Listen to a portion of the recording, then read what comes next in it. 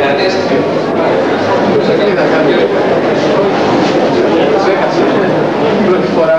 Να εφαρμόσουμε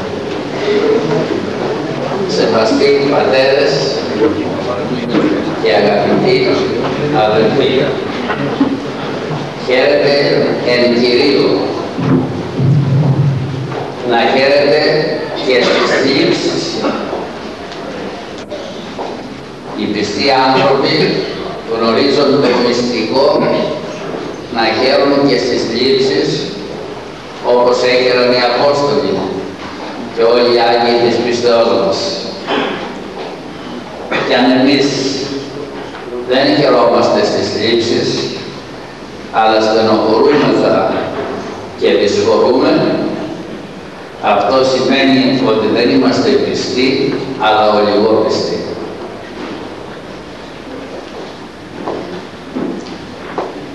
Από την προηγουμένη Κυριακή, την Κυριακή του Σπορέως, μπήκαμε σε νέα πνευματική περίοδο. Στην πνευματική περίοδο 1996-1997.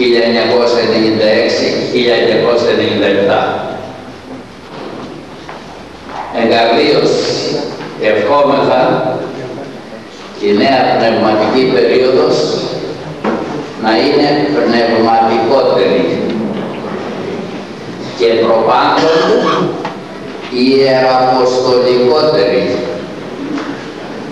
Οι μικροί αδελφόντες μας είναι ιεραποστολικοί αδελφόντες. Ο ιδρυτής της,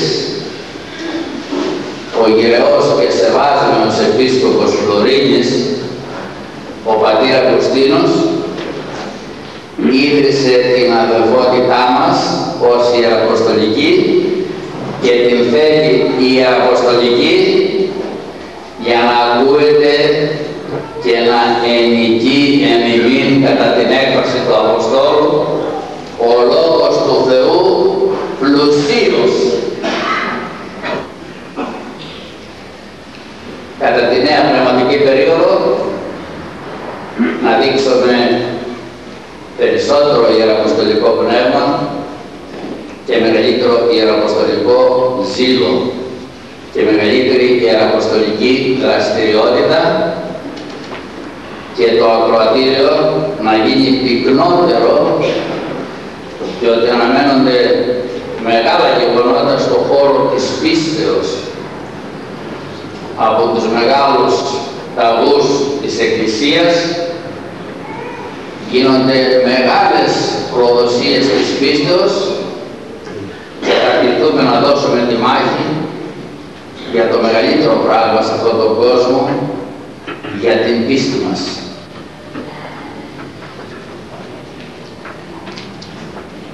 Αδελφοί μου, σήμερα στους Ιερούς Ναούς, κατά τη Θεία Λειτουργία, ακούσαμε το Αποστολικό Ανάγνωσμα.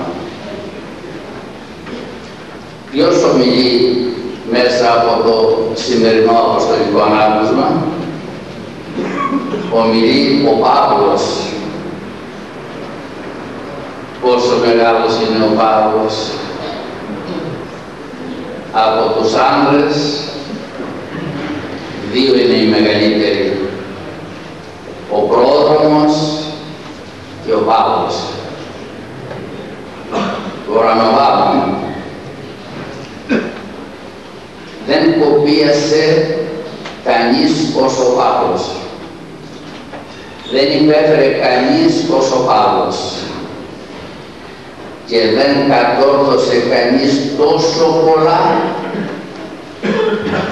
όσο ο Παύλος. Όταν διαβάζει κανείς τις επιστολές του Παύλου και βλέπει πόσο κοπίασε για την ανθρωπότητα ο Παύλος και πόσα υπέφερε και πόσα κατόρθωσε, αισθάνεται ότι είναι μηδέν μπροστά στον Παύλο. Εγώ τουλάχιστον αδερφοί μου που έχω ιδιαίτερη αδυναμία στον Απόστολο Παύλο, όταν διαβάζω τις επιστολές του και σκέφτομαι τα βασανά του και τα κατορθώματα, αισθάνομαι ότι δεν τον φτάνω ούτε στο ένα μυριωστό τόσο μεγάλος είναι ο Παύλος. Τον αναγνώριζαν στην εποχή του όλοι οι χριστιανοί εννοώ. Δεν τον αναγνώριζαν όλοι. Πολλοί τον αντιπαθούσαν. Αντιπαθούσαν τον Παύλο, ναι, τον ουρανοβάμωνα Παύλο, ήταν οι, Ιουδα, οι Ιουδαΐζοντες χριστιανοί που ήθελαν να εκπροσωπήσουν, να φανούν ασπροπρόσωποι ενώπιον των Ιουδαϊκών αρχών και εξουσιών για να μην καταδιώκονται για το Σταυρό του Χριστού.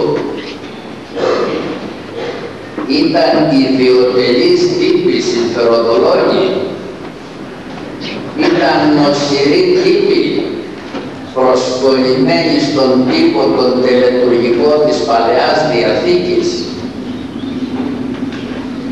Ήταν νοσηροί τύποι και ήταν και φθονεροί τύποι. Φθονούσαν τον Παύλο.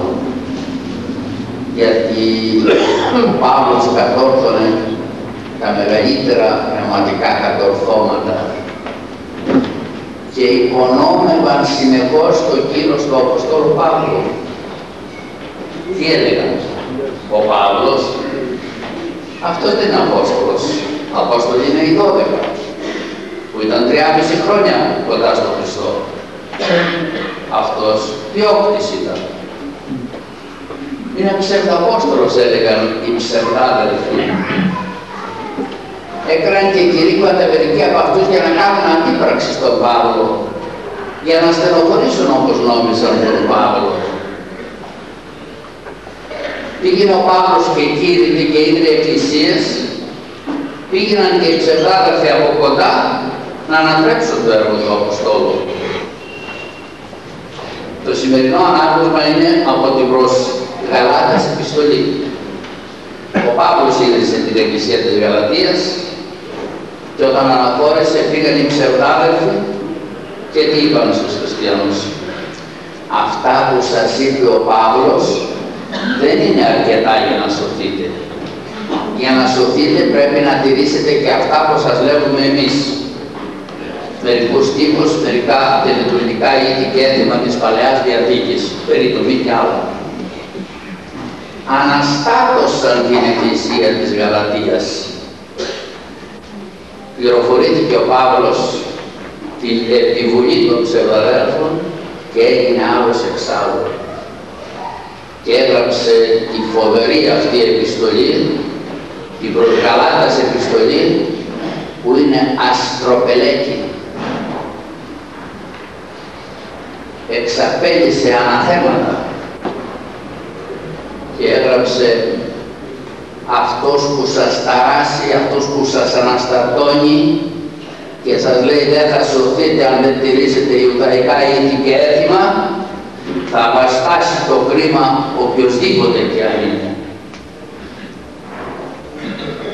Για να αποδείξει ο Παύλος ότι δεν χρειάζεται η τήρηση των Ιουδαϊκών ευθύμων για τη σωτηρία των χριστιανών έφερε ένα πολύ μεγάλο επιχείρημα. Ποιο είναι το μεγάλο επιχείρημα, διαβάζετε έτσι προσεκτικά τα λόγια του Μεγάλου Αποστόλου, ερωτά τους χριστιανούς, εξέργων νόμου ή εξακουής πίστεως ελάβετε το πνεύμα; Πώς λάβατε εσείς οι χριστιανοί το Άγιο Πνεύμα, την υψίστη δωρεά του ουρανού, ακολουθώντας τον τηλετουργικό νόμο της Παλαιάς Διαθήκης ή πιστεύοντας το κήρυγμα του Ευαγγελίου, με την πίστη στο κήρυγμα του Ευαγγελίου έλαβαν οι χριστιανοί το Πνεύμα το Άγιο. Το Αποστολικό Ανάγνωμα στην αρχή ομιλεί σήμερα για τους καρπούς του Αγίου Πνεύματος που έλαβαν οι πιστοί επί τη βάση της πίστεως. Τι λέει ο Παύλος; Ο καρπός του Πνεύματος εστίν αγάπη, χαρά, ειρήνη, μακροθυμία, Χριστότης, αγαθοσύνη, πίστης, πραότης, εγκράτεια. Εννέα πράγματα.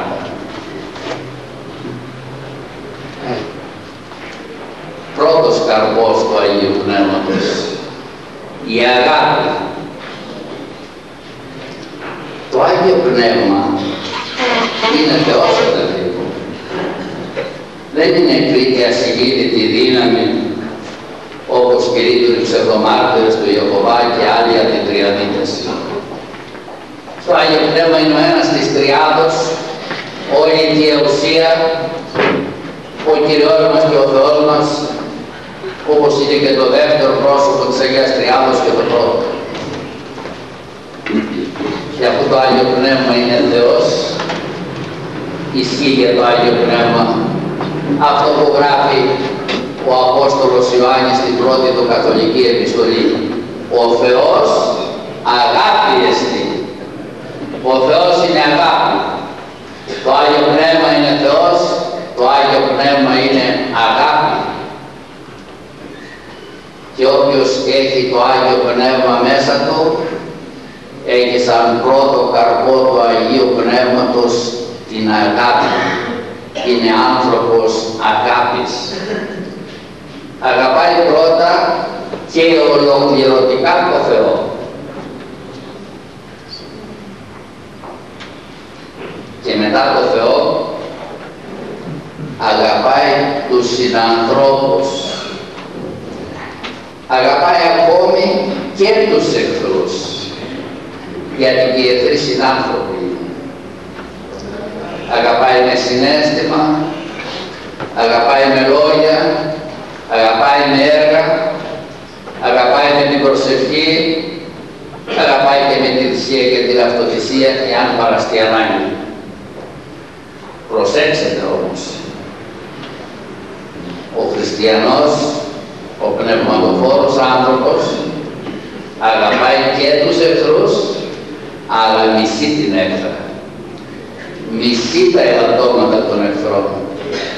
Μισεί τις ασέβειες των εχθρών. Η αγάπη είναι πρώτη, πρώτος καρπός, διότι είναι η κορυφαία χριστιανική αρετή.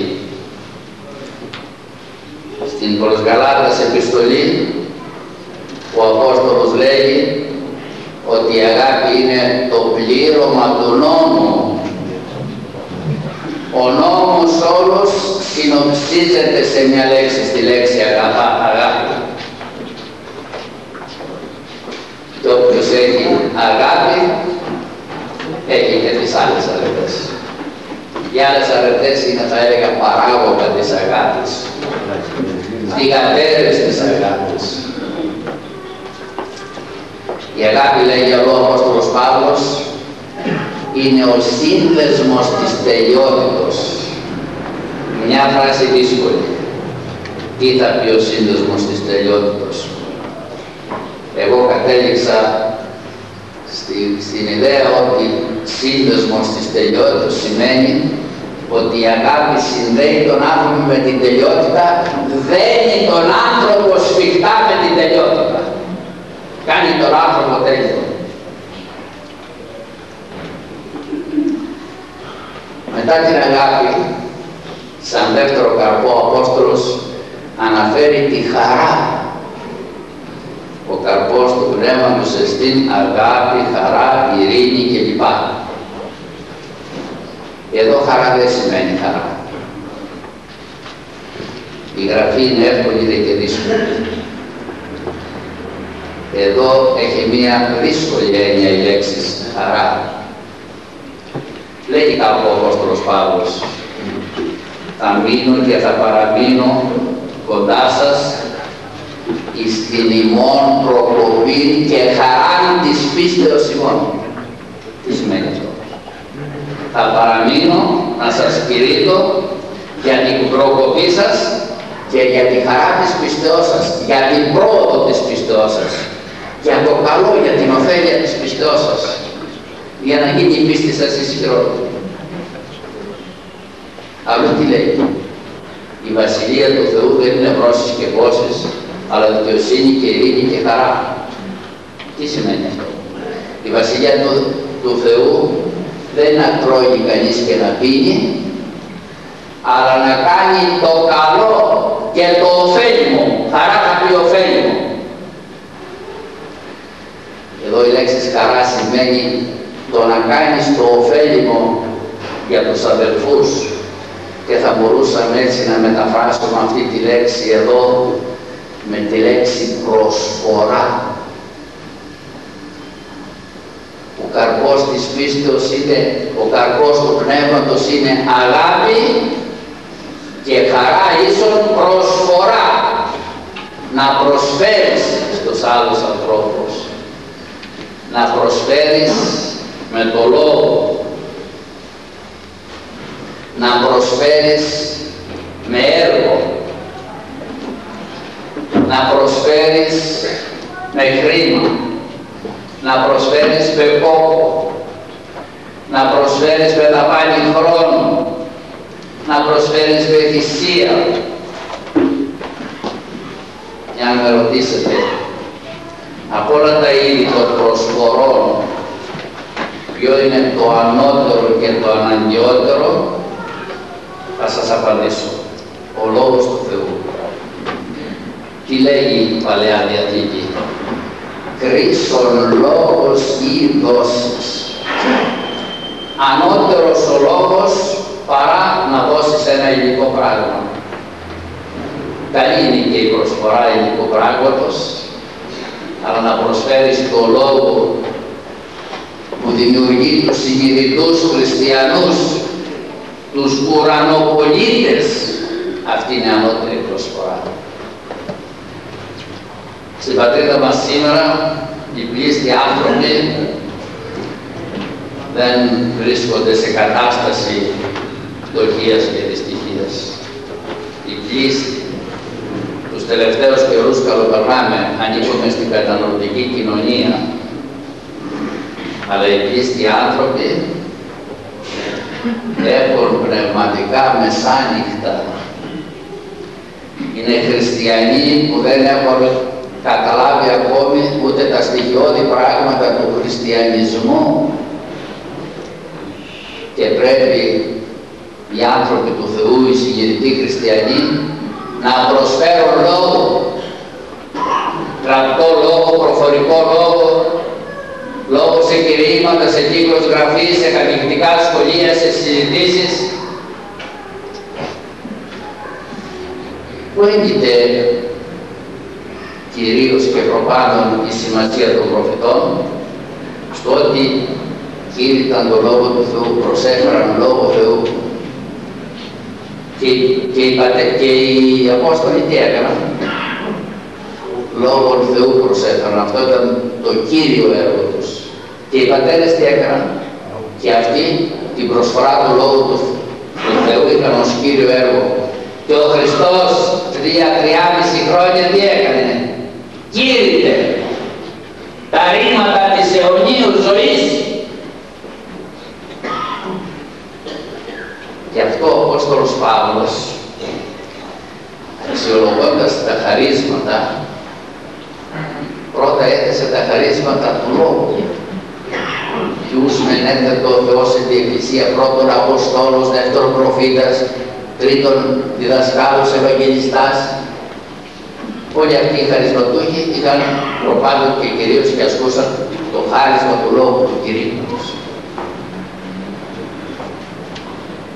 Θεωρώ ήθρη αδελφοί μου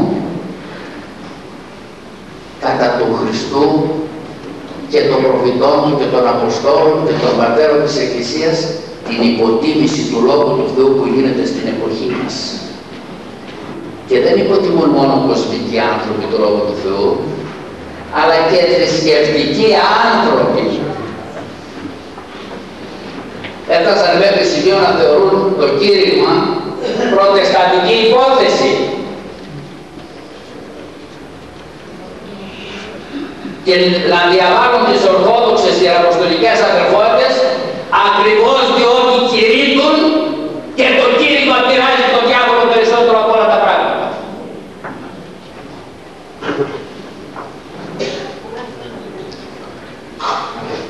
Ο τρίτος καρπός, η ειρήνη.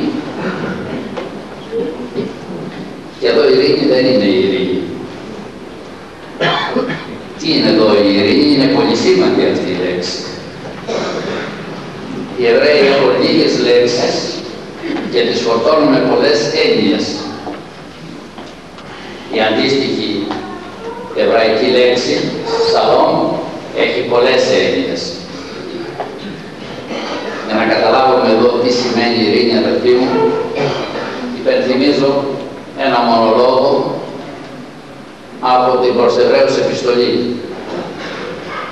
Η Ραάβ σώθηκε διότι λέγει εδέχθη τους κατασκόπους με ειρήνης, με τα ειρήνης.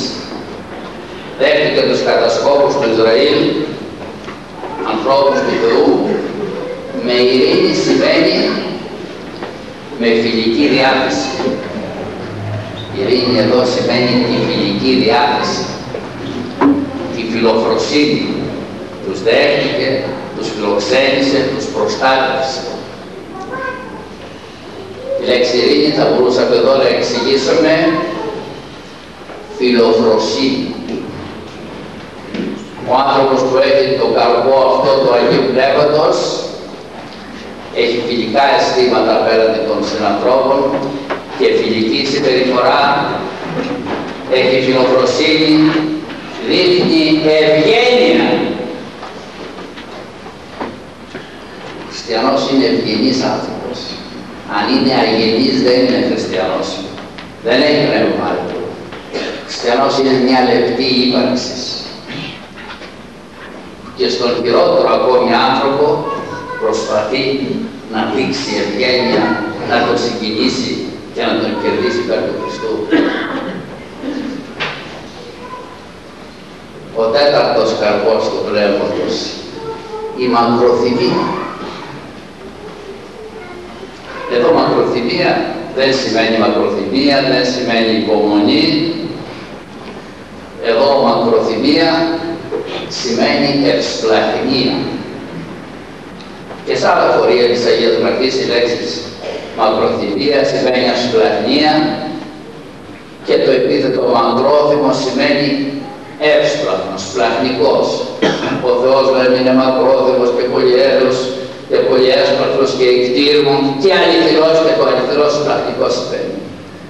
Πέντε επίθετα σημαίνουν το ίδιο πράγμα. αυτός που έχει αγάπη, έχει και προσφορά, έχει και φιλοφροσύνη, έχει και ευσπλαχνία. Τι σημαίνει ευσπλαχνία; Να βλέπει ο άνθρωπος την ανθρώπινη δυστυχία και να λυπάται. Όπως λέει πολύ χαρακτηριστικά ο λαός μας, να ραγίσει η καρδιά του, να ματώνει η ψυχή του. Αυτό σημαίνει ευσπλαχνία. Είδε ο Κύριος λέει τα πλήθη του λαού που ήσαν σκορπισμένα και ταλέπορα σαν πρόβατα που δεν έχουν πειμένα και σπλαχνίστηκε και παρέθεσε τράπεζα στην έρημο και έφαγε ο λαός του και χόρτασε. Ο άνθρωπος που έχει ευσπλαχνία με την έννοια της μακροθυμία με την έννοια της ευσπλαχνίας λυπάται για την ηλική δυστυχία όταν βλέπει φτωχούς ανθρώπους πεινασμένους, γυμνούς, αρρώστους, βασανισμένους λυπάται δε και για την πνευματική δυστυχία την αμαρτία, την ασωτεία τον κίνδυνο να πάνε οι άνθρωποι στην κόλαση σπλαχνίζεται ο άνθρωπος του Θεού, ο πνευματοφόρος άνθρωπος και υλικά και πνευματικά τον συνάνθρωπο. Ο πέμπτος καρπός είναι η Χριστότης και ο έκτος η αγαθοσύνη. Είναι αρετές συγγενείς με την αρετή της μακροθυμίας, της ευσπλαχνίας, και η επόμενη αρετή η πίστης όπως θα δούμε συγγενής αρετή είναι. Οι Εβραίοι για να δώσουν έμφαση στο λόγο χρησιμοποιούσαν συνώνυμες λέξεις και συνώνυμες φράσεις. Πάρα πολλές φορές μέσα στην Αγία Γραφή συναντώ, συναντάμε συνώνυμες λέξεις και συνώνυμες φράσεις. Σας ανέφερα πρωτήτερα πέντε συνώνυμα επίθετα που σημαίνουν τον έστω, μακρόθυμος και πολυέλεος και πολυέσπροσος και εκτίμων και αληθινός. Βλέπουμε τέσσερες αρετές συνώνυμες. Μακροθυμία ίσον ευσπλαχνία. Χριστό της αγαθοσύνης. Πώς θα εξηγήσουμε; Το Χριστό της θα το εξηγήσουμε καλοσύνη. Το αγαθοσύνη θα το αφήσουμε όπως είναι. Και το πίστης είναι συνώνυμο όπως θα δούμε. Χριστότης είναι η καλοσύνη. Να σου αρέσει το καλό και να θέλεις να κάνεις το καλό. Άνθρωπος καλοσύνης λέμε.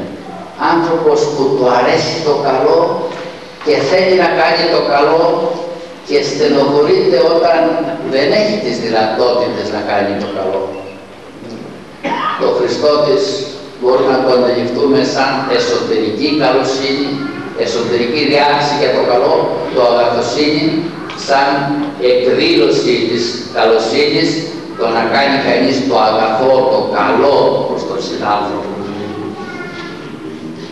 Και η πίστη τι είναι εδώ. Πίστης, πραότης, εγκράτεια. Η πίστη δεν είναι τη γνωστή αρετή της πίστεως. Αν ήταν αυτή η αρετή, δεν θα έμπαινε ανάμεσα στις άλλες και προς το τέλος, θα έμπαινε στην αρχή και μάλιστα πρωτήτερα από την αγάπη, διότι η πίστη είναι προϋπόθεση της αγάπης. Για να αγαπήσει κανείς όπως θέλει ο Θεός πρέπει πρώτα να πιστέψει. Τι λέει ο Παύλος καταλήγοντας στον ύμνο της αγάπης μηνύ δεμένη πίστης, ελπίς, αγάπη. Πρώτα η πίστη. Πρώτα πιστεύεις και κατόπιν αγαπάς και γίνεσαι θυσία πίστης είναι η φιλανθρωπία. Τι λέγει η βίβλος των παροιμιών;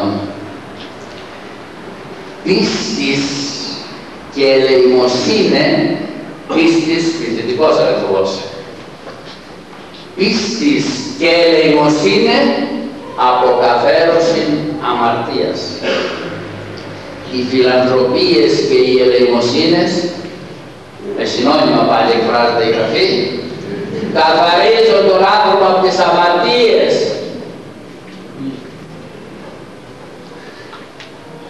Τι λέγει ένας ύμνος της Μεγάλης Πέμπτης για τον ευγνώμονα ληστή, τον καλοπροαίρετο ληστή, μικράν φωνήν αφήκεν πολιστής εν το σταυρό, μεγάλη πίστην έβρε, μια ροπή εσώτη. Ο ληστής πάνω στο σταυρό άφησε μικρή φωνή, είπε λίγα μόνο λόγια, αλλά βρήκε μεγάλη πίστη, επέτυχε μεγάλη φιλανθρωπία, μεγάλη ασπλαχνία εκ μέρους του Κυρίου και σε μια στιγμή σώθηκε πιστός ο Θεός όσου και άσυ ημάς πειραστεί να υπερόδυναστε. Ο Θεός είναι πιστός, εδώ σημαίνει είναι φιλάνθρωπος, είναι σπλαχνικός, είναι στοργικός και δεν μας αφήνει να δοκιμαστούμε παραπάνω από τις δυνάμεις μας.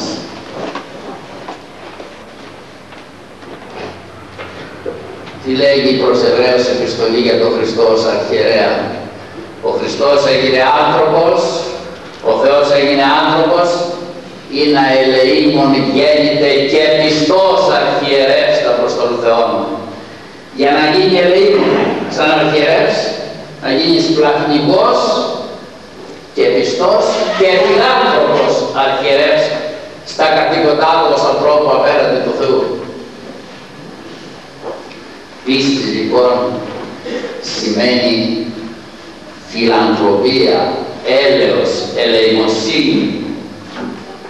Μεγάλη αρετή η ελεημοσύνη.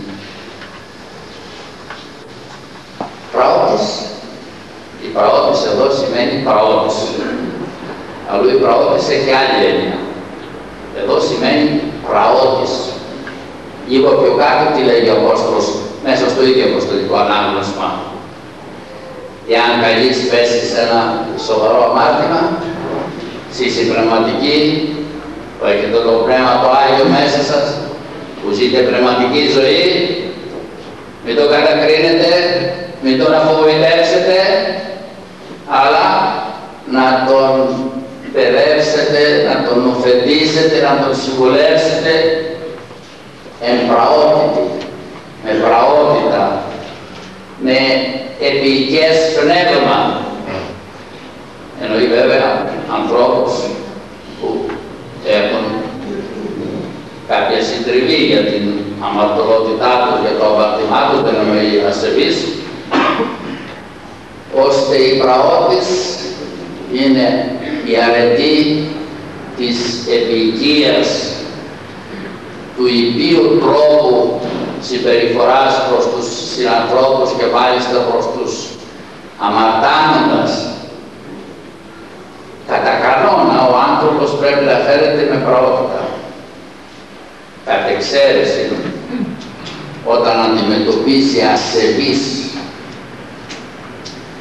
όταν θίγεται η θεότης, όταν θίγεται η πίστης, όταν θίγονται τα ιερά και τα όσια της πίστεως από καταφρονητάς και ασεβής και αδιστάκους ανθρώπους, τότε δεν ισχύει η πρώτης, ισχύει η Ιερή Οργή και αγανάκτηση και γλώσσα σκληρή. Ο πράγος και ταπεινός Ιησούς ήλεξε, αγανάκτησε, οργίστηκε, ύψωσε και το φραγγέλι. Να μην παρεξηγούμε τις έννοιες, διότι συνεχώς μιλούν οι άνθρωποι περί πραότητος και κατακρίνουν την οργή και την αγανάκτηση και τη σκληρή γλώσσα στις περιπτώσεις της ασεβίας. ο ένατος καρπός η εγκράτεια. Με τρεις έννοιες αδελφοί μου πρέπει να εννοήσουμε την εγκράτεια. Εγκράτεια γλώσσες. Αχ, η γλώσσα κόκαλα δεν έχει λέει ο λαός μας και κόκαλα τσακίζει. Η γλώσσα αναστατώνει τον κόσμο, διαταράσσει τις σχέσεις ανθρώπων, οικείων, συγγενών, φίλων, αδελφών. Γι' αυτό χρειάζεται εγκράτεια γλώσσες. Να προσέχουμε, να συγκρατούμε στη γλώσσα μας, να μην λέμε λόγια λαζονικά, υπερήφανα, να μην λέμε λόγια προσβλητικά των άλλων, να μην, να μην λέμε λόγια που δημιουργούν αναστάτωση χωρίς λόγο. Διαμάντα αργών λόγων θα δώσει λόγο ο άνθρωπο Χριστός. Τι θα πει διαπάντα αργών λόγων. Διαπάντα συκοφαντικών προσβλητικών λόγων που λέμε εναντίον του άλλου ανθρώπου. Όποιος δεν φταίει στη γλώσσα, στο λόγο, όποιος μπορεί και συγκρατεί το πάθος της ψυχής και δεν βγάζει από πονηρό θησαυρό. Πονηρούς λόγους, αυτός είναι τέλειος άνθρωπος, λέει ο Μεφόδιος Ιάκωβος. Και είμαστε όλοι ένοχοι σε αυτό το αμάρτημα σε αρκετό βαθμό. Δεν συγκρατούμε τη γλώσσα μας πολλές φορές. Και γι' αυτό αναστατωνόμαστε και αναστατώνουμε και καταστρέφουμε την ειρήνη των αδελφών, την ειρήνη της Εκκλησίας. Τα κάνουμε θάλασσα με τη γλώσσα, με τα λόγια μας.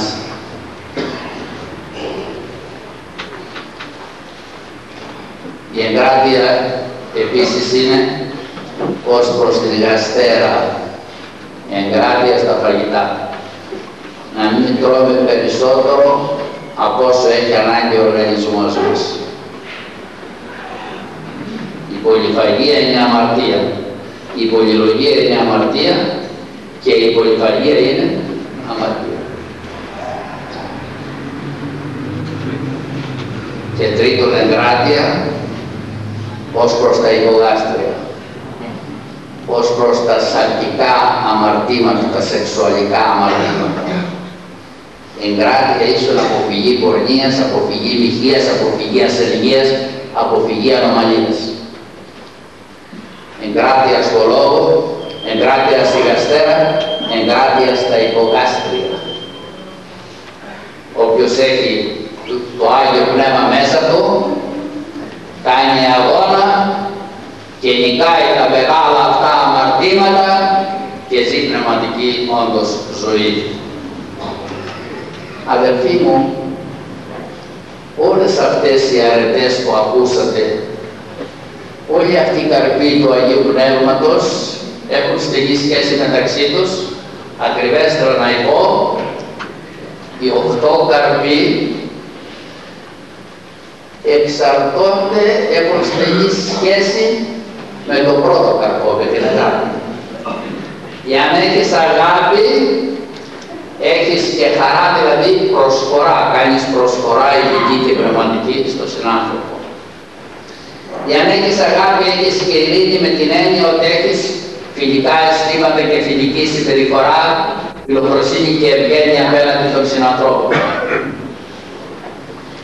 αν έχεις αγάπη, έχεις μακροθυμία, δηλαδή ευσπλαχνία. Όταν βλέπεις την ηλική και την πνευματική δυστυχία, ραγίζει η ψυχή σου. Για να έχεις αγάπη, έχεις Χριστότητα, καλοσύνη, αγαπάς το καλό και θέλεις να κάνεις το καλό. Για να έχεις αγάπη, έχεις αγαθοσύνη, εκδηλώνεις την αγάπη σου με αγαθά έργα ειδικά και πνευματικά. αν έχεις ε, αγάπη, έχεις πίστη με την έννοια της φιλανθρωπίας, της ελεημοσύνης. Αν έχεις αγάπη, έχεις πραότητα βλέπεις τον συντετριμένο αμαρτωλό και τον μιλάς με ίδιο τρόπο για να τον συγκινήσεις, να τον ενθαρρύνεις, να μην απογοητευτεί, να τον ελκύσεις κοντά στο Θεό να σωθεί. Για να έχεις αγάπη, έχεις εγκράτεια, διότι είναι εντολή του Κυρίου η εγκράτεια, είπε ο Χριστός, αν με αγαπάτε, τηρήστε τις εντολές μου. Έτσι θα αποδείξετε την αγάπη. Ειδικότερα θα πούμε ότι η εγκράτεια συνδέεται με την αγάπη διότι όποιος έχει αγάπη εγκρατεύεται στο λόγο και δεν μιλάει προσβλητικά για τον άλλον άνθρωπο. Όποιος έχει αγάπη εγκρατεύεται στη γαστέρα διότι λέει δεν πρέπει να φάω παραπάνω από ό,τι πρέπει το παραπάνω ανήκει στον φτωχό και πρέπει να κάνω ελεημοσύνη. Όποιος έχει αγάπη εγκρατεύεται με τη σεξουαλική έννοια, διότι από αγάπη δεν θέλει να προσβάλλει την τιμή του άλλου προσώπου. Να γιατί ο Παύλος είπε ότι η αγάπη είναι πλήρωμα νόμου. Είναι όλος ο νόμος συνοψισμένος αυτή τη λέξη. Να γιατί ο Παύλος είπε η αγάπη είναι σύνδεσμος της τελειότητος. Η αγάπη δένει τον άνθρωπο σφιχτά με την τελειότητα. Κάνει τον άνθρωπο τέλειο. Αδελφοί μου, έλεγχος και αυτό έλεγχος τώρα. Έχουμε τους καρπούς του Αγίου Πνεύματος. Έχουμε πραγματική αγάπη. Με λόγια έχουμε αγάπη αλλά με αισθήματα και με έργα έχουμε πραγματική αγάπη, τον εαυτό μας σίγουρα αγαπάμε. Τους οικείους επίσης αγαπάμε. Ένας οικείος, πατέρας μας, η μάνα μας, ο αδελφός μας, η αδελφή μας, το παιδί μας, και αν κάνει τεράστια λάθη, το αντιμετωπίζουμε με επίοικια μεγάλη. Εάν κάνει μικρότερα λάθη ο άλλος άνθρωπος, που δεν είναι οικείος και συγγενής, είναι πιο πέρα από τους οικείους και τους συγγενείς. Το κρίναμε με επίοικια ή με αυστηρότητα. στο δικό μας άτομο μπορεί να μνηστεύσουμε και τεράστια αμαρτήματα. Στον τον άλλον μπορούμε να τον κοπανίσουμε αγρίως και για μικρά αμαρτήματα. Πού είναι η αγάπη μας. Έχουμε προσφορά το δεύτερο καρπό του Αγίου Πνεύματος. Ανοίγουμε το στόμα μας να μιλήσουμε για το Θεό Είπαμε η προσφορά του λόγου είναι μεγαλύτερη. Κουνάμε το χεράκι μας να μεταδώσουμε ένα θρησκευτικό έντυπο, ορθόδοξο, να ωφεληθεί κάποιος. Είμαστε βορκωμένοι, γράφουμε ένα σχόλιο, ένα άρθρο στον τύπο, να ωφεληθεί κάποιος. Κάνουμε πνευματική και ειδική προσφορά για τον συνάνθρωπο. Ο τρίτος καρπός. Φιλική διάθεση και συμπεριφορά, η φιλογνωσίνη, η ευγένεια. Είμαστε έτσι λεπτοί χαρακτήρες, μεταχειριζόμεθα με λεπτότητα τους συνανθρώπους, δείχνουμε ευγένεια ή σε άλλους δείχνουμε ευγένεια και σε άλλους αγένεια και βαλαυσότητα είναι μερικοί απέναντι μερικών ευγενέστατοι με εισάβαυτοι και απέναντι άλλων είναι θηρία. Και μπορεί να είναι καλύτερη η δεύτερη. Ο κ. Αποστήλος έχει πει κατά καιρούς είμαστε αγριοχρήστιοι. Άγιοι βάρβαροι είπε άλλοτε. Τα πιο πετυχημένα λόγια έχει πει ο κ. Αποστήλος.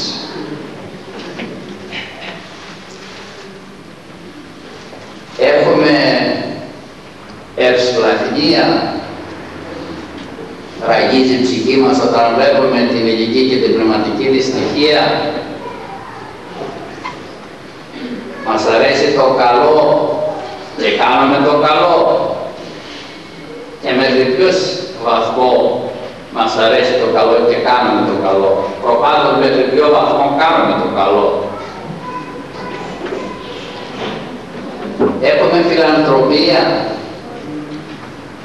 και είναι η φιλανθρωπία μας ανάλογη με τις οικονομικές μας δυνάμεις.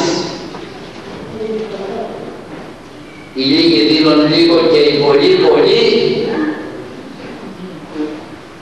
Οι, οι πτωχοί δίνουν λίγο και οι πλούσιοι πολλοί.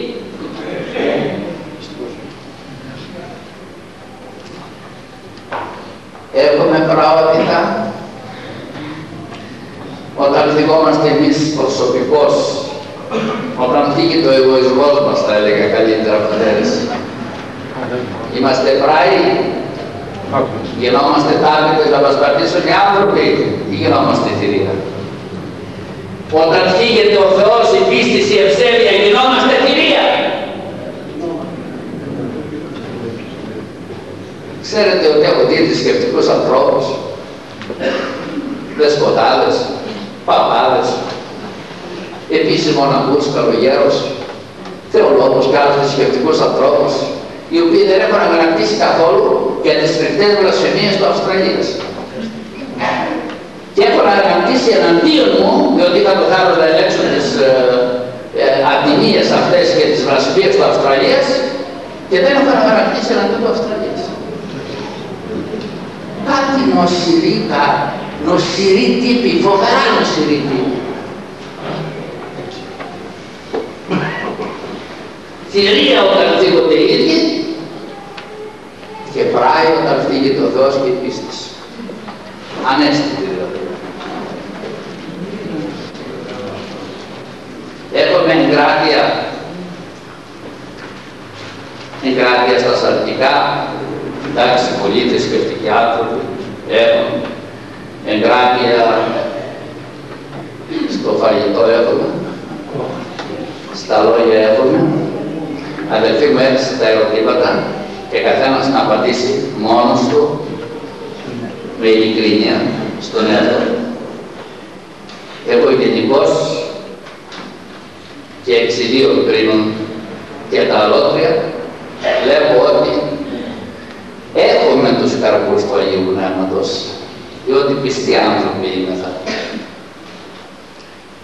Ξομολογούμεθα τις απαρτίες μας, διαβάζουμε τις γραφές, κοινωνούμε τον Κύριο, κάνουμε ένα πνευματικό αγώνα, έχουμε τους καρπούς του Αγίου Πνεύματος, αλλά εξομολογούμε. Τους έχουμε σε μικρό βαθμό. Λίγη αγάπη έχουμε, λίγη προσφορά έχουμε, λίγη φιλοπροσύνη και ευγένεια έχουμε και τις άλλες αρετές σε μικρό βαθμό. Είμαστε πνευματικά πτωχοί. Το χαράκια όπως τα έλεγε ο πατήρ Αγουστίνος.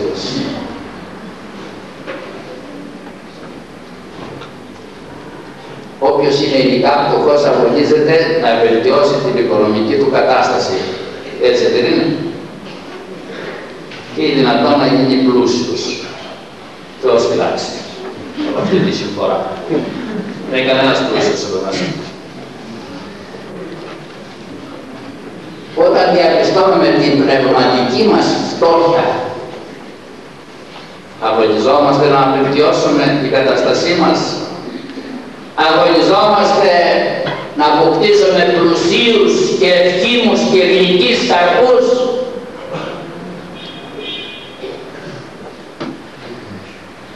τα χαρίσματα του Αγίου Πνεύματος δίνονται αναλόγως προς την πίστη. Έτσι λέει ο Παύλος. Κατά την αναλογία της πίστης. Οι καρποί του Αγίου Πνεύματος δίνονται κατά την αναλογία της πίστης. Η δε πίστης προϋποθέτει μια άλλη αρετή. Η αρετή. Την ταπείνωση. Την ταπεινοφροσύνη. Για να λάβουμε σε μεγάλο βαθμό τους καρπούς του Αγίου Πνεύματος και να γίνουμε πνευματικά πλούσιοι ασύγκριτα ανώτεροι από τους εφοπλιστάς και τους μεγαλοβιομηχάνους και τους μεγαλοεπιχειρηματίες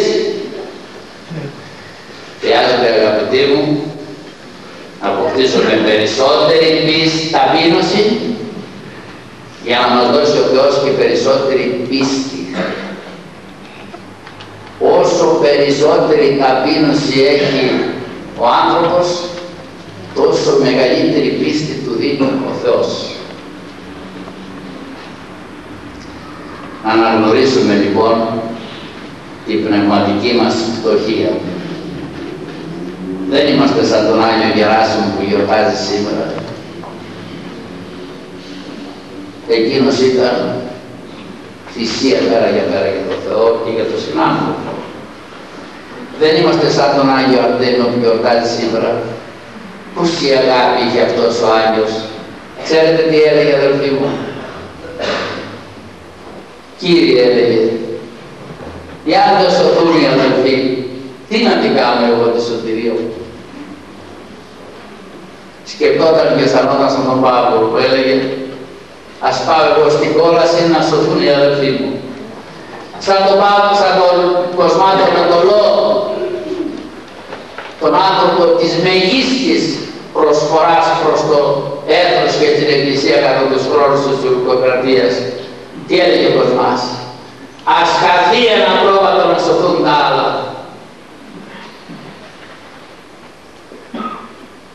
Να αναγνωρίσουμε την πνευματική μας φτωχία, να στενάξουμε, να στενάζουμε συνεχώς και στην προσευχή μας, κλείνοντας γόνι καρδίας και σώματος και υψώνοντας τα χέρια προς το Θεό, να λέμε Κύριε πρόσθεση μην πίστη. Κύριε πρόσθεση μην ταπείνωση για να προσθεθεί και η πίστη.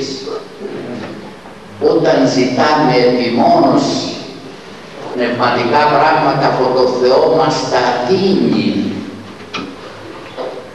Οι γονείς, είπε ο Χριστός, όταν ζητήσουν τα παιδιά τους καλά υλικά πράγματα, δεν αρνούνται να τους δώσουν. Αν ζητήσει το παιδί ψάρι δεν του δίνει φίλη ο πατέρας. Όσο μάλλον ουράνιος πατέρας δώσει πνεύμα Άγιο της ετούσιν αυτών, πνεύμα αγαθό της ετούσιν αυτών. Κύριε, δώσ' μας ταπείνωση μεγάλη, δώσ' μας πίστη μεγάλη, για να μας δώσεις και πλούσια τα δωρήματα του Αγίου Πνευματός Σου, προς δόξα του ονοματός Σου και προς ωφέλεια των συνανθρώπων και προς σωτηρία μας. Αμήν.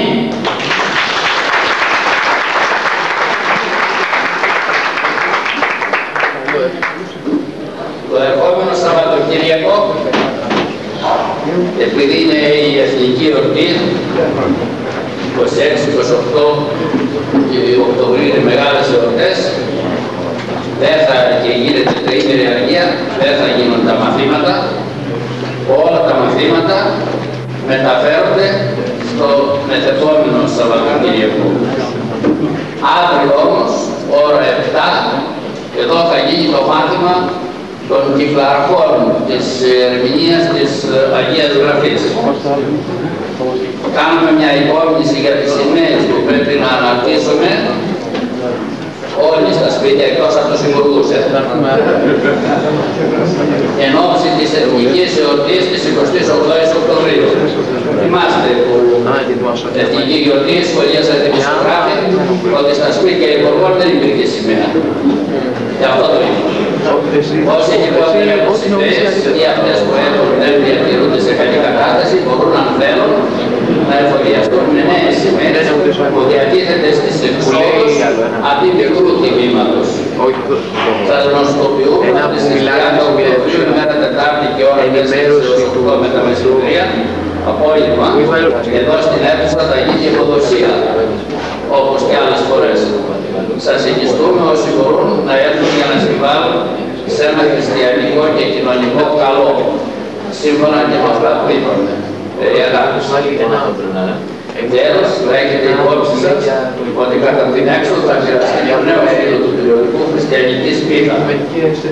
Όσοι δίνουν σε άλλους για περιοδικό σπίτα μπορούν να ζητήσουν περισσότερα του ενός φύλλα.